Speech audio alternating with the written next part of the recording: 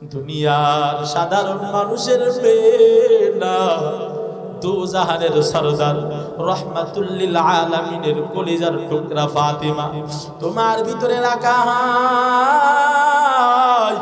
খবরদার মাটি খবরদার, বেয়াদবি যেন না হয় এমন কথা বলার পরে আমার আল্লাহ কবরের মাটির জবান খুলিয়া দেয়। কবরের মাটি ডাক দিয়ে কয় রে আবুজার আমার ভিতরে কাকে রাখো? আমার ভিতরে ফাতেমারে রাখো নাকি? আমার ভিতরে হাসান হুসাইনের মারে রাখো না কেন? আমার ভিতরে আলীর স্ত্রীরে রাখো না কেন? মুহাম্মাদুর রসুল্লাহর মেয়েরে রাখো না কেন? কোনো পরিচয় চলবে না। আমার ভিতরে যদি ইমানের আমল যদি ইমান আমল নিয়ে যদি আমার কবরের ভিতরে আসে, আমি কবরের মাটির ব্যবহার বড় ভালো পাইবে আর যদি ইমান আমল না নিয়া, বেঈমান না ফারমান হইয়া যদি কবরে আসে, আমি কবরের মাটিও জানায়া দিলাম। আমি কবরের মাটির ব্যবহারও কিন্তু ভালো পাবে না। এরে বে নামাজি ভাইয়ারা, ও বেপার দামা বোনেরা, ও যুবকেরা, আজকে যারা নিজের খাল খুশি মতো দুনিয়ার ভিতরে জিন্দগি কাটাইতেছো, আমার আল্লাহ বারবার ডাক দিয়ে দিয়ে মসজিদের দিকে ডাক দেয়। এরে আল্লাহর গোলাম আল্লাহ বলে, এই বান্দা তোরে জহরে ডাক দিলাম, তোরে পাইলাম না। আসরে ডাক দিলাম, পাইলাম না। মাগরিবেও পাইলাম না। তোরে এতবার ডাক দিলাম তুই আমার ডাকে সাড়া দিলি না। তোর বন্ধু তোর ফোনের ভিতরে কল লাগাইলো। তুই ধরতে পারো নাই, আবার পরবর্তীতে ব্যাগ ঘোরায়া করো। এই মোবাইলের রিংটোনের থেকে আমি আল্লাহর ঘর, আমি আল্লাহর ঘরের মাইকের আজান। মোবাইলের রিংটোনের থেকে কি কম আওয়াজ নাকি? এজন্য ইসলামের ভিতরে নারীর এত ইজ্জত দেওয়া হয়েছে, নারী থাকবে ঘরের ভিতরে।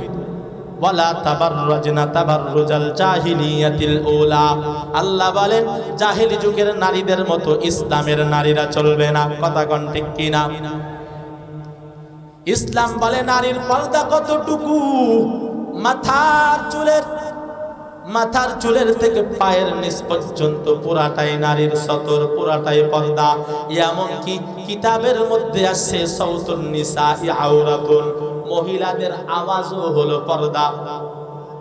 মহিলাদের কণ্ঠও কি? এজন্য মা বোনেরা যখন কথা বলবে, আসতে বলবে, কারণ এটাও তার পর্দা। এরে পর্দার আলের মা বোনেরা, ভালো করে বয়ানটা শোনার চেষ্টা করবেন। বর্তমান জামানায় যে যত উলাঙ্গ হইতে পারে, তার তত দাম কথা কন ঠিক কিনা? ভারতের সিনেমা, ভারতের চ্যানেলগুলো আসিয়া আমাদের সমাজটা এত ধ্বংস করেছে। স্টার জলসাজি বাংলা, টাপুর টুপুর এইটা সেইটা পাখি নাটক এগুলা দেখিয়া আমাদের বাংলার মেয়েরা, বাংলার যুবতী বোনেরা ওই পাখির মতো সাজার চেষ্টা করে, ওই কিরণমালার পোশাক পরার চেষ্টা করে আসে না নাই? এগুলো কি পর্দা হয় নাকি? এই পোশাক কি পর্দার পোশাক? বলে, পিঠ খালি, পেট খালি কোনো কিছুই ঢাকা লাগে না। এইটার নাম কিরণমালা। এই পোশাক পরে বাংলার জমিন শুধু না, যারা এই জমিনের ভিতরে বেঈমান আছে, তারা নিজেদেরকে যত উলাঙ্গ করতে পারে, নিজের কাছে দামি মনে করে, ঠিক কিনা? আর মুসলমানেরা চায় নিজেকে যত পর্দায় ঢাকা যায়, ততই দাম বেড়ে যায় কার কাছে? আল্লাহর কাছে দামি হইতে চাও নাকি মানুষের কাছে দামি হইতে চাও? এরে পর্দার আলের বোনেরা, যারা আমার আল্লাহর কাছে দামি হতে চাও, খবরদার খবরদার নিজের চেহারা পর পুরুষকে দেখাইও না। খবরদার খবরদার বেপরদার বাহির হইবা না। খবরদার খবরদার চেহারাটাকে আলগা করবা না। যদি আল্লাহর কাছে দামি হতে চাও আমার আল্লাহর কাছে যদি দাম পাইতে চাও, নিজেকে ইসলামের সাজে সাজাইয়া, নিজেকে পর্দার ভিতরে রাখিয়া নিজের জীবনটাকে গড়ো। এখন রাস্তাঘাটে চলতে গেলে নারী আর নারী আসে না নাই? এমনকি ঢাকায় যাবেন, ঢাকায় রাস্তাঘাটে পিঠা বিক্রি করে বলে চিতই পিঠা। অধিকাংশ দোকানে নারী। চিতই পিঠা বানাইতেছে, ভাবা পিঠা বানাইতেছে, চা বিক্রি করতেছে। আবার দেখা যায় পান বিড়ি সিগারেট বিক্রি করতেছে। অনেকেই আবার গার্মেন্টস এগুলাও চালাইতেছে। এই যে সমস্ত, আপনারা দেখেন, যত দোকান আছে, প্রত্যেকটা দোকানের ভিতরে, শুধু বিদ্যুতের দোকান বাদে, এরপরে বিদ্যুতের দোকানে আছে কিনা আমার জানা নাই। তবে এই দোকান বাদে প্রত্যেকটা দোকানে এখন নারী আর নারী, কথা কোন ঠিক কিনা? নারীদের জ্বালাই রাস্তায় চলাই মুশকিল। অথচ বলেন, নারীকে পর্দায় থাকার জন্য। নারী থাকবে কোথায়? মহলে। যারা মহিলা হবে, তারা থাকবে মহলে।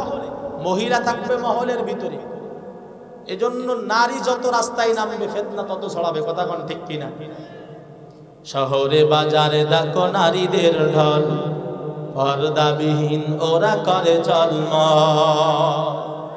অন্যকে তার দিকে আশেক বানাই দেশটা আজি ধ্বংস নারীর বেপরদায়। সবার মুখে একই আওয়াজ, হাই হাই হাই। ইবলিসে আজম বাংলাদেশে আগমন ঘটেছে নারীর বেশে।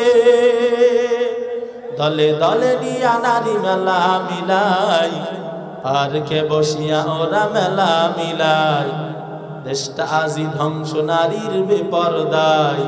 সবার মুখে একই আওয়াজ, হাই হাই হাই।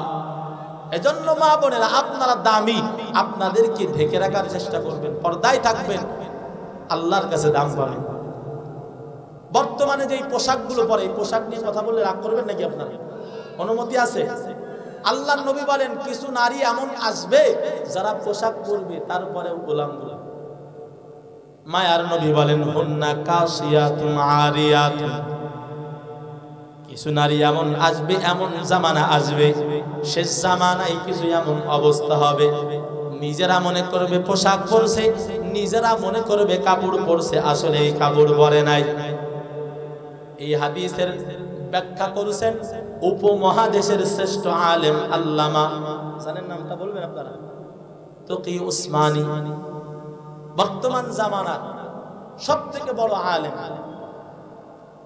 আল্লামা তকি উসমানী, পাকিস্তানের হজরত উনি এই হাদিসের ব্যাখ্যা করতে গিয়ে বলেন আল্লাহ রসুল বলছেন, হুন্না কাসিয়াতুন আরিয়াতুন, মুমিলাতুন মাইলাতুন।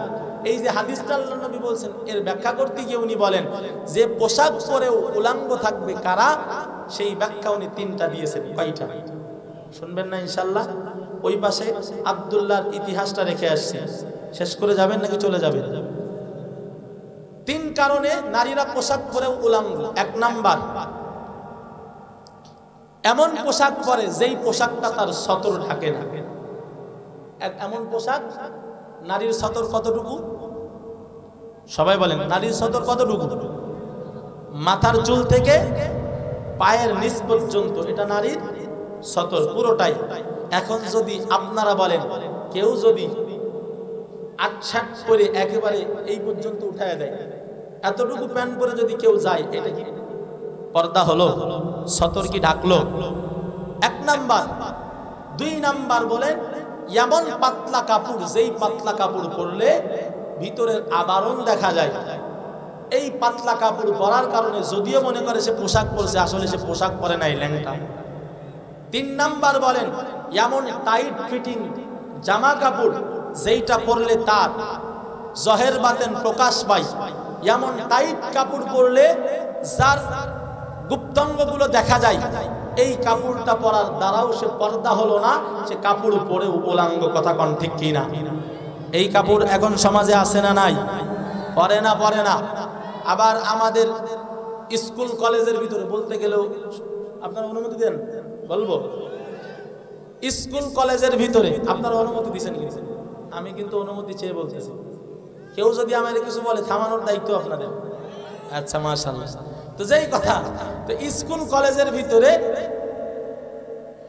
স্কুল ড্রেসের সাথে আবার বাধ্যতামূলক করে দেয় টিসু দাও বাধ্যতামূলক করে দেয়। কি বাধ্যতামূলক? বেল্ট করতে হবে। হ্যাঁ? আরে লুচ্চার লুচ্চা বেল্ট পরলেই তো তোমার কাছে ভালো লাগে। একটা সাবালিকা মেয়ে যখন বেল্ট পরবে, তোমার স্কুল ড্রেস দিছো, ঠিক আছে, আলহামদুলিল্লাহ। এর সাথে তুমি মুসলমান রাষ্ট্রের ভিতরে, স্কুলের ভিতরে বাধ্যতামূলক কথা বলেন ঠিক কিনা? মুসলমানদের জন্য পর্দা যদি না করে যদি চলে, দুনিয়ার ভিতরে ফেতনার সব থেকে বড় ফেতনা হলো নারী ফেতনা, কথা কন ঠিক কিনা? আল্লাহর নবী জানায় দিয়ে গেছেন, মা তারাক্তু বাদি ফিতনাতান আদাররু আলার রিজালি মিনান নিসা। আমি বিদায়ের পরে সব থেকে আশঙ্কা ভয় পাই বেশি, নারীদের থেকে আমার পুরুষ উম্মতেরা ধ্বংস হবে। দুই নাম্বার বলেন, মা তারাক্তু বাদি ফিতনাতান। দুই নম্বর আল্লাহর নবী বলেন, ইন্না বানি ইসরাঈলা কানাত নিসা বনি ইসরাইল ধ্বংস হয়েছিল, আপনারা ইতিহাস জানেন। বনি ইসরাইল ধ্বংসের পিছনে মূল ভূমিকায় ছিল নারী। সুতরাং নারী যত উলাঙ্গ হবে, জাতি তত ধ্বংসের রাস্তায় নামবে। জাতি যত যত ধ্বংস হবে দুনিয়া তত ধ্বংসের দ্বার প্রান্তে পৌঁছাবে, কথা কন ঠিক কিনা? এজন্য নারীকে পর্দায় আবৃত করা, নারীকে পর্দায় রাখা, এটা আমাদের জন্য বাধ্যতামূলক, কথা কন ঠিক কিনা? এই পৃথিবীতে যদি রাজত্ব কায়েম করতে চাও, এই পৃথিবী থেকে যদি এখনও যদি ক্ষমতা ধরে রাখতে চাও, এই পৃথিবীতে যদি বাঁচতে চাও, নারীকে পর্দার ভিতরে ঢোকায় দাও, নাই তোমার ওই ক্ষমতাও আর চলবে না। দুনিয়াও থাকবে না, ক্ষমতাও থাকবে না। এজন্য নারীকে পর্দায় ঢুকানো তোমার, আমার প্রতি আল্লাহর পক্ষ থেকে আদেশ আমাকে আপনাকে কি করতে হবে? নারীকে পর্দায় রাখতে হবে। কথা কান ঠিক কিনা? একজন নারী যদি জাহান নামে যায় রাজনীতি আলোচনা করতেছি নাকি? কথা বুঝবেন কিন্তু। যদি কেউ বলেন, রাজনৈতিক আলোচনা করতেছি, আল্লাহর কসম আমি কিন্তু সাদা মাথা বক্তা না, এখান থেকে আমার প্রমাণ দিয়ে যাইতে হবে। যে কথা বলতেছি, একটাও আমি কোরআন হাদিসের বিরুদ্ধে যাচ্ছি না, একটাও কোরআন হাদিসের বাইরে বলতেছি না, এখন যেই কথা বলব। একজন নারী আল্লাহ নবী বলেন, একটা নারী যদি জাহান নামে যায় চারজন পুরুষকে জাহান নামে নিবে। কয়জন? এক নম্বর তার বাবা। দুই নাম্বার তার বড় ভাই। তিন নাম্বার তার স্বামীকে চার নাম্বার তার সন্তানকে এই চারজন পুরুষকে একটা নারী জাহান নামে নেওয়ার জন্য যথেষ্ট। নারী ডাক দিয়ে বলবে, বাবা, তুমি আমারে কেন পর্দা শেখাও নাই? বড় ভাই রে বলবে, রে ভাই তুমি কেন আমারে পর্দার জন্য আদেশ দাও নাই? স্বামী রে বলবে, আমি তো আপনার অধীনে ছিলাম, আপনি কেন পর্দা করান নাই? সন্তান রে ডাক দিয়ে বলবে, রে সন্তান, আমি তো তোর মা ছিলাম, কেন তুই আমারে এমন বাধা দিস নাই? কেমতের ময়দানে আল্লাহর কাছে চারজন পুরুষের সম্পর্কে নালিশ জানাবে। এখানে হয়তো আমরা কেউ নারীদের বাবা না? বড় ভাইও না। কেউ বাঁচতে পারব? এখানে সবাই কেউ না হয়, কেউ হয়তো বাবা হবেন, কেউ হয়তো বড় ভাই হবেন, অথবা কেউ হয়তো স্বামী স্বামী তো সবাই। চার নাম্বার হয়তো বা আপনি সন্তান। এখন এই সন্তান নারীবাদে তো কেউ দুনিয়াতে আসতে পারেন না। তো এই সন্তান কিন্তু গ্রেফতার হবে মায়ের জন্য, স্বামী কিন্তু গ্রেফতার হবে স্ত্রীর জন্য, বড় ভাই কিন্তু বোনের জন্য। বাবা কিন্তু মেয়ের জন্য। এখানে যারা আছি, আমাদের নৈতিক দায়িত্ব, ইমানি দায়িত্ব, আল্লাহর পক্ষ থেকে আল্লাহর বিধান, মহিলাদেরকে পর্দায় এমন পোশাক কেউ কিনে দিব? আরে এইটাই তো ওয়াজ। কেউ যদি বলে, হুজুর, ওয়াজ হয় না। তাহলে আমি বুঝব ওয়াজ বুঝে না। ওয়াজ এইটাই। আজকের থেকে নিয়ত করেন যেই তিনটা ব্যাখ্যা করেছেন আল্লামা তকি উসমানী তিন পোশাক আমরা নারীদেরকে পরাবো না। ইনশাল্লাহ বলেন। সবাই বলেন ইনশাল্লাহ। এক নাম্বার কি বললাম? সতর খোলা থাকবে, এমন কোন পোশাক পরানো যাবে? সতরের মাস আলা কি? মাথার চুল থেকে পায়ের নিচ পর্যন্ত। এটা মহিলাদের সতর। মনে থাকবে তো ইনশাল্লাহ। আরে ভাই, এই মাজলিস তো শিকার মাজলিস আল্লাহ নবী বলেন, তাদারুসুল ইলমি সাআতাম মিনাল লাইলি, খায়রুম মিন ইবাদাতি 60 সানা। 60 বছর দাঁড়ায় দাঁড়ায় নফল নামাজ পড়লে যেই সওয়াব হয়, একটা মাসআলা শিখতে পারলে আল্লাহ ওই 60 বছরের নামাজের সওয়াব একবারে আমল নামাই দিয়ে দেয়। একটা মাসআলা নারীদের সতর কতটুকু? এই বড় ভাইয়েরা, বাবারা, স্বামীরা যারা এখানে আছেন, সন্তানেরা, সবাই শুনে রাখেন, নারীদের পর্দার সতর কতটুকু? মাথার চুল থেকে পায়ের নিচ পর্যন্ত। এবার আপনার মাকে, আপনার বোনকে, আপনার স্ত্রীকে, আপনার আহালদেরকে, মহিলাদেরকে আপনি কাপড় কেনার ক্ষেত্রে দেখবেন আপনার বিধানের সাথে আল্লাহর বিধান মেলে কিনা। তাদের পর্দা করানোর জন্য আপনি যে কাপড় কিনে দিচ্ছেন, এই কাপড়টা তার মাথা থেকে পা পর্যন্ত সতর ঢাকে কিনা। ঘরের ভিতরের মাস আলা আলাদা, বাহিরের মাস আলা আলাদা। এটা নিয়ে আবার ভেজাল করবেন। না। ঘরের ভিতরে তোর পর্দায় রাখব, তোর বোর কাপড়ে থাকতে হবে। কারণ হুজুর বলছে, মাথা থেকে এই উঠেন কেন? বয়ান শেষ করে দেবো? মাথা, হুজুর বলছে, মাথার চুল থেকে পা পর্যন্ত সব পর্দা। সুতরাং আজকের থেকে এমন একটা কাপড় নিয়ে এসে দেবো, মাথার পরে ফেললে একবারে সব ঢেকে যায় এমন একটা কাপড়। এইরকম আবার, ইসলাম কিন্তু এইরকম চাপায় কারও করে দেয় ইসলাম কিন্তু সহজ। বুঝতে সহজ, না বুঝতে অনেকের কাছে কঠিন। তখন ঠিক কিনা? তো যেই কথা বলতেছিলাম, এক নাম্বার দেখবেন এমন কাপড় হবে যেইটার দ্বারা সতর না খুলে যায়। সতর আলগা না হয়। দুই নাম্বার দেখবেন কাপড়টা যেন কি না হয়, পাতলা না হয় বেশি। যদি বেশি পাতলা হয়, তাহলে কি হবে না? পর্দা হবে না। সতর কাপড় উপরেও ল্যাংটা। তিন নাম্বার বলেন, এমন টাইট ফিটিং পরানো যাবে না। এমন টাইট ফিটিং যদি পরানো হয়, তাহলে এইটাও পর্দা হবে না। মা বোনেদের ক্ষেত্রে কি করবেন? বলে মোটা কাপড় দ্বারা, মোটা কাপড় পরাবেন, মোটা কাপড়, ঢিলা ডুলা হবে। কি হবে? মোটা কাপড়, পাতলা কাপড় না। মোটা কাপড়, একটু মোটা কাপড় দেখবেন। আল্লাহ তাদেরকে ওই তবিয়তে বানাইছেন, আপনি হয়তো ভয় পান। দেখেন না, আপনি আগুনের কাছে গেলে আপনার কষ্ট হয়, মা বোনেরা রান্না বাড়া তিন বেলা করে কষ্ট হয়। আল্লাহ তো তাদের ওই জাত দিয়াই বানাইছে, ওই রকম সিস্টেমেই আল্লাহ বানাইছে। সুতরাং তাদের পোশাক হবে কি? মোটা কাপড় দ্বারা দিবেন, দুই নাম্বার দিবেন, এমন চাকচিক্য পোশাক দিবেন না, যেই চাকচিক্য পোশাক মানুষের নজর কাড়ে। কথা কন ঠিক কিনা? তিন নাম্বার, আপনি এমন পোশাক দিবেন যেটা ঢিলা ঢোলা। আল্লাহ তৌফিক দান করেন, বলেন আমিন। এজন্য যেই কথা বলতেছিলাম, এই আলোচনা করতে গেলে অনেক লম্বা চলে যায় ওই দিকে যাব না। ইসলামের জন্য কষ্ট সাধন করা মা বোনেদের লাগবে কি লাগবে না? ফাতেমা রাদিয়াল্লাহু তাআলা আনহা কষ্ট করছে না করে নাই? কথা কোন ঠিক কি না ফাতেমা তো এমন ছিল, মৃত্যুর আগ দিয়ে স্বামীকে ডাক দিয়ে দিয়ে বলতেছে, মৃত্যু হলো সতেরোই সতেরোই রমজান সতেরোই রমজান সকালবেলা সকালবেলা আলী রাদিয়াল্লাহু তাআলা আনহু বাসার, এই মা বোনেরা কান লাগাবেন ভালো করে। ইতিহাসটা আপনাদের জানা দরকার। এই বাদাম বিক্রি বাইরে করো। যেই কথা বলতেছিলাম, ভালো করে নজর দেন, এইদিকে বাড়ি।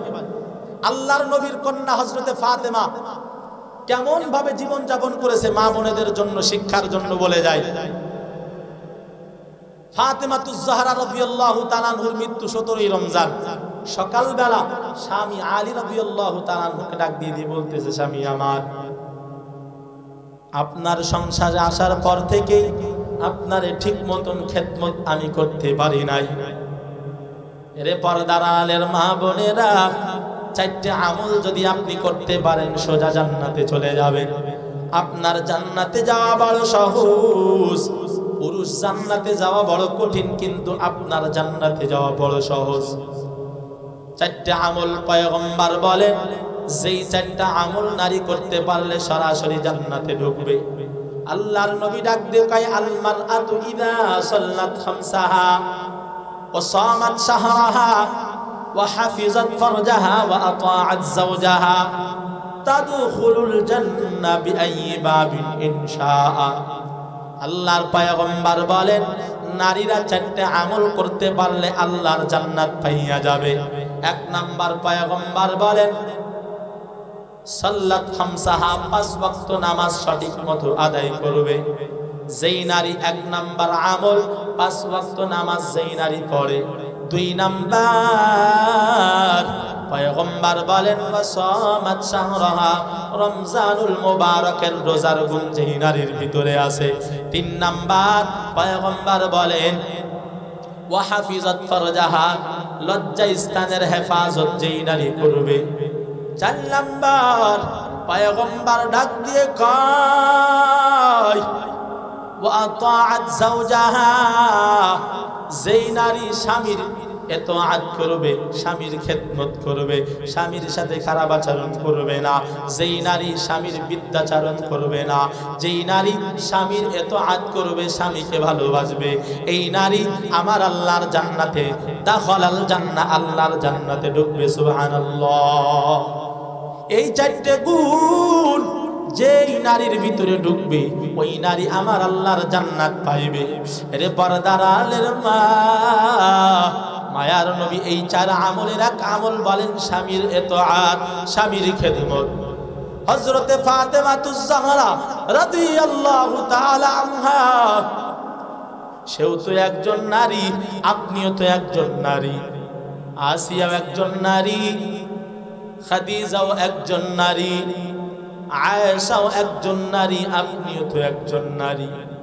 এর পর্দার আলের মা বোনেরা, এই চারটা আমল যারা করতে পারবেন, চার নাম্বার আমল হলো স্বামীর খেদমত, স্বামীর সাথে খারাপ আচরণ না করিয়া, স্বামীর সাথে ভালো ব্যবহার করিয়া দুনিয়ার থেকে যদি বিদায় হও আর যদি স্বামী তোমার ব্যাপারে সাক্ষ্য দেয়, আমার স্ত্রী ভালো ছিল। আল্লাহর পয়গম্বর বলেন, ওই নারীকে আমার আল্লাহ জান্নাত দিয়ে দিবেন, সুবহানাল্লাহ। স্বামী মারা যাওয়ার পর স্ত্রী যদি ডাক দিয়ে কয় যে, আমার আমার স্বামী বড় ভালো ছিল। স্ত্রী যদি বলে, স্বামী ভালো ছিল। আল্লাহ নবী বলেন, ওই স্বামীও আমার আল্লাহর জান্নাতের মেহমান হবে। এরে আল্লাহর গুলামেরা ফাতেমা তুজহরার জীবনীতে পাইলাম। ফাতেমা সতেরোই রমজান সকালবেলা হজরতে আলী যখন ঘরে ঢুকছে, আলী নু ঘরে ঢুকার পর আলীকে ঢাক দিয়া ফাতেমা দুইটা হাত ধরিয়া, ফাতেমা আলীর পার্শ্বে বসিয়া ডাক দেয়, স্বামী আমার, আপনার খেদমত করতে পারি নাই। এতদিন আপনার সাথে সংসার করেছি। আমার আচরণে যদি কষ্ট পান, ও স্বামী আমার মেহরবানি করে মাফ করে দেন। ও স্বামী আমার, আপনি যদি আমার মাফ না করেন, আমার বাবা আমাকে নসিহত করেছেন। ও ফাতেমা, ইয়া ফাতেমা তু আনকা আনকিদি নফসাকি মিনান নার রে ফাতেমা, নিজের নফসকে জাহান্নাম থেকে বাঁচাইয়া আল্লাহর কবরে যাও। দুনিয়াতে মোহাম্মাদের পরিচয়ে অনেক কিছু পাইবা, কিন্তু মৃত্যুর পর আমি মোহাম্মাদের পরিচয়ে কোনো লাভ হবে না। আমার বাবাই বলছে, খবরদার। আমার বাবাই জানাইছে, খবরদার ফাতিমা মৃত্যুর আগ দিয়ে নিজের নফসকে জাহান নাম থেকে বাঁচাও। আমার বাবাই বলছে, স্বামী আমার, আপনি যদি আমার পরে বেজার থাকেন, আমার আল্লাহর কাছে আমি নিস্তার পাবো না। সুতরাং আপনার কাছে ক্ষমা চাই। কারণ বাহিরের লোকের সাথে তো আমার দেখা হয় নাই, বাহিরের লোকের সাথে খারাপ আচরণ হয় নাই। আপনি আমার স্বামী। হয়তো খারাপ আচরণ হইলে আপনার সাথে হইছে। মেহেরবানি করে ফাতেমাকে মাফ করে দেন। ও স্বামী আমার, আপনি যদি মাফ না করেন, আমি ক্ষমা পাইব না। আলী রাদিয়াল্লাহু তাআলা আনহুর হাতে দরিয়া কান্না করে ফাতিমা। ফাতিমার কান্না দেইখা আলীর চোখের পানি ধরে রাখতে পারে না। ডাক দিয়া দিয়া বলে, ফাতিমা, কেন এমন ভাবে তুমি কান্না করতেছো আর ক্ষমা চাইতেছো, কারণটা কি বলো? ফাতেমা ডাক দিয়ে কয়, ও স্বামী আমার, রাত্রের বেলা যখন ঘুমায়েছি, আমার বাবার সাথে এতদিন পর আমার স্বপ্নে যুগে দেখা হয়েছে আমার বাবাই জানাইছে রে, ফাতেমা, আজকের সাহারি করো, আলীর সাথে সমস্যা নাই। ইফতারি আমি বাবার সাথে করা লাগবে। আমার বাবা আমারে জানাইছে, আমি আর আমার বাবার কথার ইঙ্গিত অনুযায়ী আর দুনিয়াতে থাকব না। এরে স্বামী আমার, এজন্য আপনার কাছে ক্ষমা চাই। ইফতারির আগেই বাবার কাছে হাজির হয়ে যাব। এজন্য আপনার কাছে ক্ষমা চাই। ও স্বামী আমার, মাফ করিয়া দেন। এমন কথা শুনিয়া হজরতে আলী চোখের পানি মানাইতেও পারে না। আলীও চোখের পানি ছাড়িয়া দেয়। আ ডাক দিয়ে দিয়ে কই রে ফাতিমা, কি কথা শোনা তুমি দুনিয়াতে যদি না থাকো তুমি যদি আমার পাশে না থাকো, আমি আলীর জিন্দগিটা শূন্য হয়ে যাবে। ও ফাতিমা, তুমি এমন কথা কেন বলো? আলীকে ডাক দিয়ে কয়, স্বামী আমার, কিছুই করার নাই, মাফ করে দেন। হজরতে আলী ফাতেমাকে ধরিয়া বলে, ফাতেমা, আমার সংসারে আসলে আসার পর থেকে অনেক কষ্ট তোমাকে দিয়েছি। অনেক খাবারের কষ্ট তুমি করেছ, অনেক পোশাকের কষ্ট তুমি করেছ। ও ফাতিমা মেহেরবানি করে স্বামী হিসেবে মাপ চাই। তুমি আমাকে মাফ করিয়া দাও। রে ফাতেমা, যদি আল্লাহর কাছে খাবারের জন্য বিচার দাও, আমি স্বামী তোমার পোশাক দিতে পারি নাই, যদি বিচার দাও, আমার তো স্বামী হিসেবে লজ্জাই মাথা উঠাইতে পারব না। ও ফাতিমা, খবরদার, তুমি আমার পর থেকেও তোমার সমস্ত অভিযোগকে তুমি উঠায় আনাও এমন বলিয়া বলিয়া ফাতেমাও কাঁদে হজরতে আলীও কাঁদে। ইতিমধ্যে হাত হজরতে হাসান এবং হুসাইন ছোট্ট দুই ভাই। কান্না বাবা মার কান্না দেখিয়া বাসার ভিতরে ঢুইকা যায়। কান্না শোনার পর নজর করে দেখে বাবাও কাঁদে, মায়ও কাঁদে, দুইজনাও কাঁদতেছে। দুই সন্তান বাবা মায়ের পার্শ্বে আসিয়া বাবার কান্না দেখিয়া, মায়ের কান্না দেখিয়া, দুজনের কান্না দেখিয়া সন্তানেরাও চোখের পানি ধরে রাখতে পারে না। কেন আমার বাবাই, কেন আমার মাই কাঁদে? কেন কান্নার কারণটা কি? এক পর্যায়ে হাসান হুসাইন যখন কান্না করে ফাতেমা সহ্য করতে পারে না। এক পর্যায়ে ডাক দিয়ে কয় ও হাসান হুসাইন তোমরা তোমার নানার কবরের পাশে চলে যাও। হাসান হুসাইন ডাক কয়, মা, কেন কান্না করতেছেন জানতে চাই? ফাতিমা বলে, সন্তান, তোমার নানার কবরের পাশে যাও, নানার কবরের পাশে যাও। জবাব পাইবা নানার কবরের পাশে চলিয়া যাও। দুই ভাই যখন এমন করতেছিল, আলি ফাতেমা কাঁদে আর ডাক দিয়ে কয়, নানার কবরের পাশ থেকে ঘুরে আসো। ছোট্ট সন্তানদেরকে বললে তো সন্তানেরা সহ্য করতে পারবে না। আমার মাই দুনিয়ার থেকে বিদায় নিবে নানার কবরের পাশে দুই ভাই যখন দাঁড়াইছে, দুই ভাই নানার কবরের পাশে দাঁড়াইয়া নানাকে ডাক দিয়ে দিয়ে সালাম দেয়। আমার মায়ার নবী কিতাবের মধ্যে আসছে আল্লামা শেখ সাদি রহমতুল্লাহ আলাই বলেন, হাসান হুসাইন যখন নানার কবরের পাশে গিয়ে দাঁড়াইতো, আল্লাহর পায়গম্বর নাতিদের সাথে কথা বলতেন সুবহান হাসান হুসাইন আল্লাহর নবীর কবরের পাশে যাওয়ার পর নানার কাছে প্রশ্ন ছুড়ে দেয়, নানা, আমার মাও কাঁদে, বাবাও কাঁদে। জিজ্ঞাসা করি, আপনার কবরের পাশে পাঠাই, আমার মায়ের কান্নার কারণ কি? বাবার কান্নার কারণ কি আমাদেরকে বলে নাই? মায়ার নবী রওজার থেকে ডাক দেয়। এরে হাসান, এর হুসাইন দৌড়ায়া যাও। আমার কবরের পাশে আর সময় নষ্ট করিস না। কিছুক্ষণ পর মায়ের আদর আর পাবি না। ওই মায়ের আদর যদি পেতে চাও, এখনই যাও, মায়ের চেহারাটার দিকে তাকাইয়া নাও। তোর মারে আর দুনিয়াতে পাবি না। এমন কথা যখন রওজার ভিতর থেকে কানে আসে, দুই ভাই কান্না করতে করতে বাসার দিকে রওয়ানা।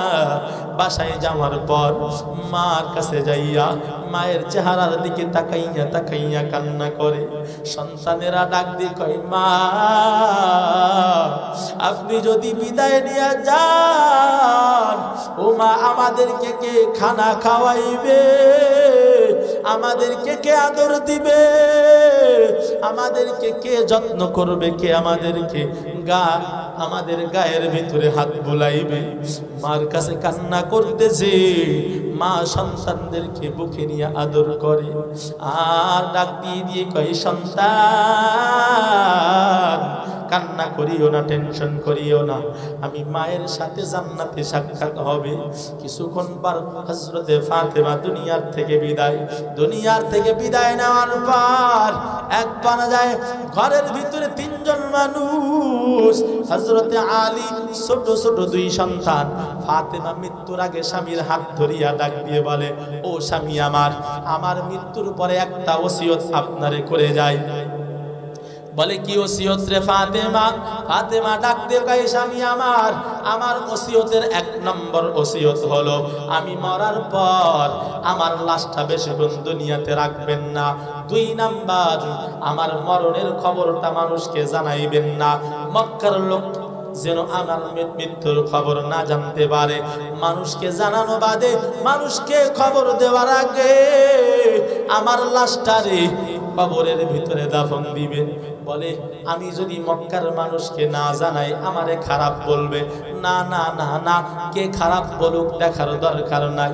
আমি মরার পরে যদি মানুষকে খবর দেন তাহলে মানুষ আইসা আমার জানাজার জন্য যখন আমার লাশের দিকে তাকাইবে, নজর করে দেখবে, আমি ফাতেমা কতটুকু মোটা ছিলাম, কতটুকু লম্বা ছিলাম, আমি ফাতেমার দৈহিক গঠন কেমন ছিল? এইটা আমি মরণের পর আমি ফাতেমা সহ্য করতে চাই না। যার কারণে আপনার কাছে আমার মরণের পর মানুষকে জানানো যাবে না। আমার লাশটারে আপনারাই জানাজা দিয়ে দাফন দিয়ে দিবেন। এক পর্যায়ে ফাতেমা তুজাহারা দুনিয়ার থেকে বিদায় হয়ে যায়। সান্নাতি নারী ফাতেমা দুনিয়ার থেকে বিদায়। বিদায় হওয়ার পর আলী তাআলা আনহু কাঁদে। দুই সন্তান হাসান হুসাইন ও চোখের পানি সাইরা সাইরা কাঁদে। দুই সন্তানকে নিয়া হযরতে আলী ডাক দিয়ে কয়, বাবা, তোমার মার ওসিয়ত অনুযায়ী আর কাউকে খবর দেওয়া যাবে না। সুতরাং ইমামতির মুসাল্লায় আমি আলী, মুক্তাদি তোমরা দুই ভাই, তোমার মায়ের জানাজা শেষ করতে হবে। ফাতেমার জানাজাই তিনজন মিলিয়া শেষ করিয়া দেয়। এখন লাশটাকে কবরে নামাবে। কবর খনন করছে একটু দূরে। লাশটাকে ধরিয়া কবরের পার্শ্বে নিতে হবে। নিতে পারে না তিনজন, দুইজন ছোট মানুষ। একজন মাত্র হজরতে আলী। এক সাইড ফাঁকা থেকে যায়, কি করবে? এখন ফাতেমার লাশটাকে কবরের পাশে নেওয়া লাগবে কেমন ভাবে নিবে? একবার যায় বাহির থেকে সালামের আওয়াজ আসতেছে। বারবার একজন ব্যক্তি সালাম দেয়, আসসালামু আলাইকুম রাহমাতুল্লাহ। বারবার সালাম দেয়, সালামের জবাব হজরতে আলী নেই না। কারণটা কি? কারণ ফাতেমা ওয়াসিয়ত করেছে, খবরদার। আমার মৃত্যুর পরে কাউকে আমার লাশ দেখানো যাবে না। ফাতেমার ওসিয়ত রক্ষার্থে এখন কি করবেন? বলে, মানুষ সালাম দেয় দিক এরপরেও ডাক দেওয়া, তার ডাকে সারা দেওয়া যাবে না। যখন না নাসুর হইয়া যায়, লাশটাকে কবরের পার্শ্বে নিতে পারে না। একজন মানুষের শট হইয়া যায়। এক যায় হজরত আলী তাআলা আনহু। জরুরাতের ক্ষেত্রে সালামের জবাব দিয়ে দেয়। ওয়া আলাইকুমুস সালাম ওয়া রাহমাতুল্লাহ। বাহির থেকে আওয়াজ আসে, ও ভাই, আমি হজরতে আবুজার আমি আবুজার আপনার দরওয়াজায় দাঁড়াইছি। আলী রাদিয়াল্লাহু তাআলা আবুজারের কথা শোনার পর ডাকতে কই রে ভাই আবুজার আয় আয় আয় ঘরের ভিতরে ঢুকে আই। আমার ফাতেমা দুনিয়ার থেকে বিদায়। একজন মানুষের সৎপর ছিল। একটা সাইজ ধরার মানুষ পাওয়া যায় না। একটু আমার ফাতেমার লাশটাকে ধরিয়া, ফাতেমার খাটিয়াটারে ধরিয়া কবরের পার্শ্বে নেওয়ার জন্য সহযোগিতা করে দাও। সবাই কান্না করে, হাসান হুসাইন কাঁদে। মায়ের লাশ ধরিয়া কবরের পার্শ্বে নেয়। কবরের পার্শ্বে নেওয়ার পর ফাতেমার লাশটা ধরিয়া কবরের ভিতরে নামানোর আগ দিয়ে হজরতে আবুজার ডাক দিয়ে কইরে কবরের মাটি, তোমার ভিতরে এখন যারে রাখা হয়, এর পরিচয়টা তোমাকে জানা লাগবে। এই মহিলাটা সাধারণ দুনিয়ার মহিলা না, এই মহিলাটা হলো নাম ফাতেমা। জান্নাতি নারীদের সরদারিনী। দুই নাম্বার তার দুইটা সন্তান, হাসান এবং হুসাইন, জান্নাতি যুবকদের সরদার। এই জান্নাতি যুবকদের সরদারের মারে তোমার ভিতরে রাখা হয়। তিন নাম্বার, আল্লাহর দুনিয়ার থেকে দশজন জান্নাতের সুসংবাদ প্রাপ্ত সাহাবি। এই দশজনার ভিতর থেকে চার নাম্বারে যার নাম, এই ব্যক্তির নাম হলো আলী। এই আলীর স্ত্রীকে তোমার ভিতরে রাখা হয়। চার নাম্বার পরিচয় নিয়ে নাও। দুনিয়ার সাধারণ মানুষের মেয়ে না। দু জাহানের সরদার রহমাতুল্লিল আলামিনের কলিজার টুকরা ফাতিমা। তোমার ভিতরে রাখা খবরদার মাটি খবরদার। বেয়াদবি যেন না হয়। এমন কথা বলার পরে আমার আল্লাহ কবরের মাটির জবান খুলিয়া দেয়। কবরের মাটি ডাক দিয়ে কয় রে আবুজার আমার ভিতরে কাকে রাখো? আমার ভিতরে ফাতেমারে রাখো নাকি? আমার ভিতরে হাসান হুসাইনের মারে রাখো না কেন? আমার ভিতরে আলীর স্ত্রীরে রাখো না কেন? মুহাম্মাদুর রসুল্লাহর মেয়েরে রাখো না কেন? কোনো পরিচয় চলবে না। আমার ভিতরে যদি ইমানের আমল যদি ইমান আমল নিয়ে যদি আমার কবরের ভিতরে আসে, আমি কবরের মাটির ব্যবহার বড় ভালো পাইবে। আর যদি ইমান আমল না নিয়া, বেঈমান না ফরমান হইয়া যদি কবরে আসে, আমি কবরের মাটিও জানায়া দিলাম। আমি কবরের মাটির ব্যবহারও কিন্তু ভালো পাবে না। এরে বে নামাজি ভাইয়ারা, ও বেপার দামা বোনেরা, ও যুবকেরা আজকে যারা নিজের খাল খুশি মতো দুনিয়ার ভিতরে জিন্দগি কাটাইতেছো, আমার আল্লাহ বারবার ডাক দিয়ে দিয়ে মসজিদের দিকে ডাক দেয়। রে আল্লাহর গোলাম, আল্লাহ বলে, এই বান্দা তোরে জহরে ডাক দিলাম, তোরে পাইলাম না। আসরে ডাক দিলাম, পাইলাম না, মাগরিবেও পাইলাম না। তোরে এতবার ডাক দিলাম, তুই আমার ডাকে সাড়া দিলি না। তোর বন্ধু তোর ফোনের ভিতরে কল লাগাইলো। তুই ধরতে পারো নাই, আবার পরবর্তীতে ব্যাগ ঘোরায়া করো। এই মোবাইলের রিংটোনের থেকে আমি আল্লাহর ঘর, আমি আল্লাহর ঘরের মাইকের আজাদ। মোবাইলের রিংটোনের থেকে কি কম আওয়াজ নাকি কম আল্লাহ বলবেন, বান্দা, তোর ছোট্ট মোবাইলের আওয়াজ তুই পাইছো, ফোনটা রিসিভ করছ, ফোন তুই কল পাও নাই, আবার পরে ঘোরায়া করছ। আমি আল্লাহ তোরে একবার না, দুইবার না, তিনবার না, পাঁচবার দিনে দিনে ধরে আমি ডাক দিলাম। বান্দা, আয়। আমি আল্লাহর কদমে সেজদা লাগাও, আমি আল্লাহর সেজদা দাও। এই বান্দা তোরে জহরে উপায় নাই আসরে উপায় নাই। মাগরিবে উপায় নাই। এই দুনিয়াতে যা কিছু দেখো, সব তোর জন্য বানাইলাম। সব নিয়ামত তুই ভক্ষণ করো, সব কিছু তোর জন্য। আমি আল্লাহ তোরে বানাইলাম কেন জানো? অমা খলাকতুল জিন্না ওয়াল ইনসা ইল্লা লিয়াবুদুন। আমি আল্লাহর গোলামির জন্য তোরে বান্দা বানাইলাম। কিন্তু তুই আমি আল্লাহর গোলামি করো নাই। এই নাফারমান হইয়া তুই কবরে আইসো। এই কবরে যাওয়ার পর নাফারমানের কবরের হালত কেমন হবে? মায়ার নবী বলেন আল কবরু জান্নাত কারও কবর হবে জান্নাতের ঘর, আবার কারও হবে জাহান্নামের চুলা। নাফার নাফারমান বেঈমান, বেনামাজি, বেপরদাওয়ালা, যখন তাদের লাশটাকে কবরে রাখা হবে, আল্লাহ বলবেন কবরের মাটি। বেঈমান নাফারমান রে আর সার দেওয়া যাবে না ঘর। আল্লাহ যখন বলবে তার কবরের মাটি সংকীর্ণ হয়ে যাবে কবরের মাটি সংকীর্ণ কেমন হবে? বলে, এক পাজরের হাড় এমন ভাবে সংকীর্ণ হবে। এক পাজরের হাড় অপর পাজরের ভিতরে এমন ভাবে ঢুকায়া যাবে। আল্লাহ তারা বলেন, এই বেঈমান না ফরমান পয়গম্বর জানায়া দেন, ওই কবরের মাটি এমন জোরে যা এক পাজরের হাড় অপর পাজরে ঢুকিয়া যাবে। বেঈমান না ফরমান চিল্লাইতে থাকবে আর বলতে থাকবে, মালিক আমারে বাঁচান আমাকে আপনি মাফ করে দেন। এই আজাব সহ্য করতে পারি না। ও আল্লাহ, আপনি আমাকে বাঁচান, আপনি আমাকে রক্ষা করেন। আল্লাহ বলবে, না না। জাহান নামের বয়ান আলেমরা শোনায়াছিল আলেমদেরকে বিদ্রোহ করছ হাসি ঠাট্টা করিয়া উড়াইয়া দিয়েছ, নবীদেরকে মিথ্যারোপ করছ। আজকে তোমাদেরকে ছাড় দেওয়া হবে না। আজকে আজকে তোদের কোনো ছাড় নাই। আমি আল্লাহর বিধান না মানিয়া কবরে আইছো, আজকে কোনো সার দেওয়া হবে না। রি আল্লাহর গোলাম মুসলিম শরীফের একটা হাদিস পাইলাম।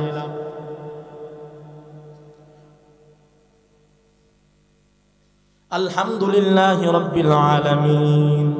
والصلاة والسلام على خير خلقه محمد وآله وأصحابه أجمعين. ربنا ظلمنا أنفسنا وإن لم تغفر لنا وترحمنا لنكونن من الخاسرين. رب ارحمهما كما ربياني صغيرا. رب ارحمهما كما ربياني